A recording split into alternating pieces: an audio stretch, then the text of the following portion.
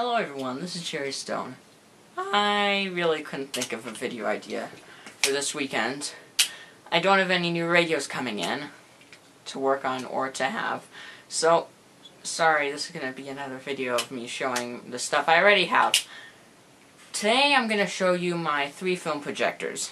I used to have other film projectors, different film projectors, but they were either, oh jeez, they were either broken or just garbage. So they're all gone. So what I think I have is three very nice projectors. So I'm going to show you from the smaller ones to the bigger ones. And no, I don't have any 35mm film projectors. That would take up my entire room. Alright, let's start. Yes, it's a Commodore 64. We'll get to it another day. Here is a film projector I just got this weekend, and one I might resell. I got it for 10 bucks. It's a Keystone 8mm film projector from the late 40s, early 50s. I actually found a spare bulb that comes with it.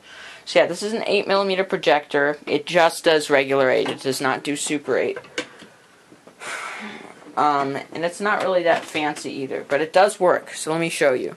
For projection screen, I'm going to use the the um, painted metal back of this Royal Royal portable typewriter. I'll show that also in in a future video. So, let me show you how to thread this projector. Now, I'm sorry I'm going to be showing sparse snippets of um of what I uh, of the film projector actually what it's showing because um, a lot of stuff, especially old movies, it's copyrighted under YouTube. So copyright everything, copyright everything. I can't show it. Um, so yeah, sorry about that. So we're just gonna stick on the reels here. This does not accept full 8 millimeter size reels. We have this um, just kind of this Castle Films 8mm Sinbad the Sailor. I don't think it's even the real one. It's just a it's a film. So we're just gonna lining up these reels is actually kind of a pain in the butt. Whatever. So yeah, we're just gonna spool it on with perforations out. We are going to we run it over this roller. This one's a little bit more labor intensive. I think it's an auto thread, but whatever. then we're gonna pull back our film gate here, thread it through the gate. Then we are going to put it over the second, um, second toothed arm and thread it onto our take up. So we are just going to move this to motor lamp. Just focus that in there. I don't know, it's a standard 8mm projector. You're not gonna, this is black and white, I color 8mm films. Alright. So yeah, there it is working. And sorry, my camera does automatic everything. The picture is sharp though. Here, let me turn on this light to equalize out the, um, nothing. It did nothing. This is my second and last 8mm projector. And this one is really interesting. It is a Kodak I think it's from the late 60s. Possibly early 70s, I don't know. Um, and it's entirely automatic. Like, it's amazing how automatic this thing is. So, we will plug it in. And does it still work? Yeah, it works fine. Woo! That's how to focus. Let's focus that down. There we go. So, this is how it threads. Perforations up, you just place the film on the thing. Then you just thread it through here. And you run it. I'm just going to set it to regular 8. And there you go. It literally is that instant. It'll shut up in a second. It's locating on the um, bottom. This one's a little um, dimmer, which is alright. This one, eight millimeter. No, no, no. This is an EKI SSLO.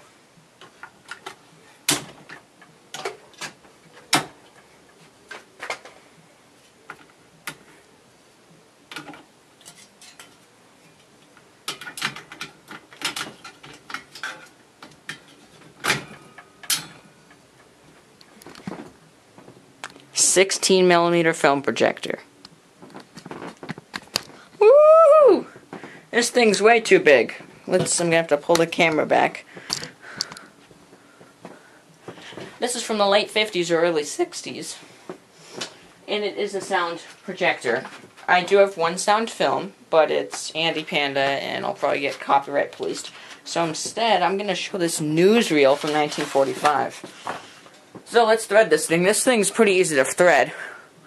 We just take our spool right here. We're just going to get a bit of slack here. We're going to thread it over the tensioner, under here. Ah, I use this film in my school's film projector, then my school district says, oh, that's a liability. So, oh well. And then we just thread onto the take-up. Like that. Wind it around a few times. And then what I do, just for safety's sake, is I just check it with all the reels. Because this thing will eat your film if you if it's not happy. This thing has a lot of power in it. So I'm just going to make the camera handheld here. So here we go.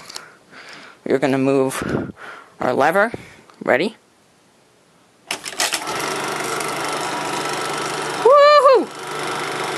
Oh, you can see how you kind of, there we go, there we go, there we go.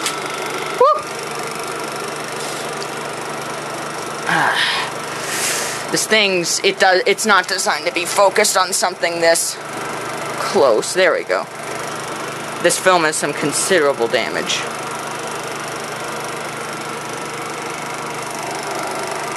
Hitler's V-2 bomb exposed by Allies.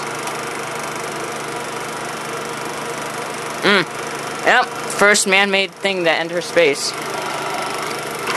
Just put this on so that I don't destroy my camera's sensor here. I'm still gonna, huh? So yeah. box. Oh god! It smells like the real too. Alright, I'm gonna have to clean up this projector. Just not clean up, just put it away, you know. But I'll see you guys next weekend. Or before. I am done with school. It's summertime, kids. I mean, I'm gonna have my continuation on Tuesday, but besides that, we're done. Ah!